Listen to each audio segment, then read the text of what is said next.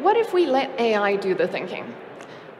On philosophical grounds, I completely reject this notion. AI cannot think. AI can automate, and AI can execute decisions. When you are not the one making the decision, and it looks like the machine is doing it, there is someone who is actually making that decision for you. Whoever built the technology, that is the person doing the thinking. And I think that we've been complacent. We've allowed our technology to be faceless.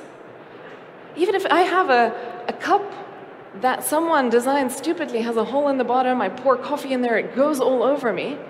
If I react to this I'm like, ah, stupid cup, it's a dangerous reaction.